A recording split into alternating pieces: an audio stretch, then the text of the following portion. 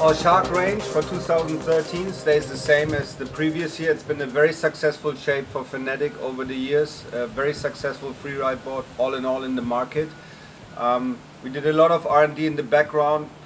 We're still not confident to have a better shape than our existing shark. So we decided to keep it for another year.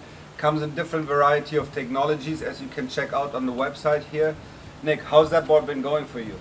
Uh, Shark's one of our big, biggest sellers for sure. When you go from learning to windsurf on maybe a, a daggerboard board like the Viper, you progress on to the early entry part of your windsurfing your life, uh, and the Shark absolutely is going to take you from that early entry, learning to jibe, learning to water start, using a harness, all the way through to fully planing, blasting along, full jibes. Uh, you can go up to the limited uh, construction, and the board is, you know, a full-on blasting, flat-out speed machine and uh, it's got again a very wide uh, range of views from open ocean to flat water lake gusty conditions it keeps going through the holes so, so yeah it's a classical freeride board with lots of performance built in yet easy to use yep. gets you on the go quickly Absolutely. what we feature here in terms of design is we have a very quick rocker that we've been working on for years on the computer and with all these various prototypes we've been building all these years it's a flat throughout the tail just a flat panel V continuing to the front.